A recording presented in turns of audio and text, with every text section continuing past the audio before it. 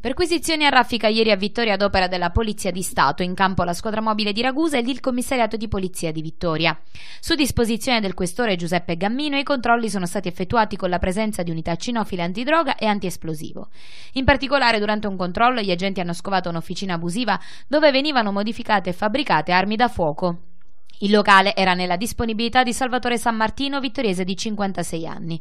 All'interno una vera e propria officina per la fabbricazione e modifica di armi, due le pistole pronte perfettamente funzionanti, decine di munizioni di ogni calibro costruite anch'esse artigianalmente.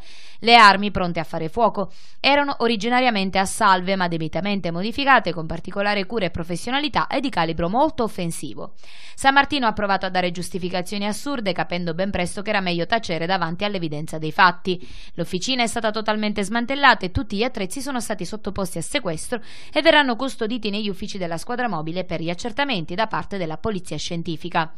Nel corso di un'altra perquisizione, invece, gli uomini della Polizia di Stato hanno arrestato Francesco Monteleone, 21 anni, per detenzione di hashish e detenzione illegale di armi e munizioni, provento di furto. Grazie al fiuto dei cani Up e Vite, gli agenti hanno scovato all'interno di un mobile un marsupio contenente 50 grammi di hashish, un bilancino di precisione e una pistola modello revolver completa di munizioni.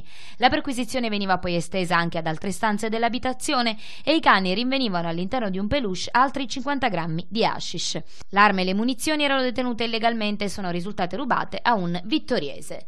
Denunciato per coltivazione di marijuana, infine, un 49enne vittoriese in casa e precisamente nel balcone sono state trovate tre piante di marijuana già alte e mature, ma non al punto tale da permetterne l'arresto, pertanto veniva solo denunciata in stato di libertà. L'uomo, nonostante la presenza del figlio, sospettato di essere il vero coltivatore, si è assunto la responsabilità della detenzione affermando di farne uso personale per motivi terapeutici poiché è affetto da una grave patologia. I tre arrestati, invece, al termine delle operazioni di rito, sono stati messi a disposizione della Procura della Repubblica di Ragusa che ha disposto la custodia cautelare in carcere in attesa degli interrogatori di garanzia.